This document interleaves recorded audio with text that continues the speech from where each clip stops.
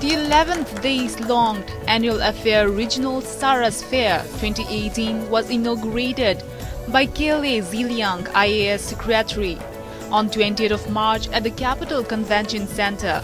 Addressing the inaugural program, Kilai stated that the event was to empower the women's self-help group to build the society.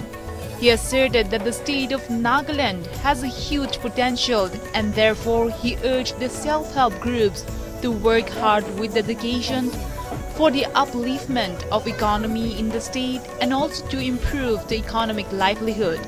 On the day, he also encouraged the participants of the regional Saras Fair to empower and bring up their innovative ideas and skills to share with the government to improve the state's economy. He also laid emphasis on the change of society for which he said that changes can be brought about in the society and the society will bring change if each and every individual change.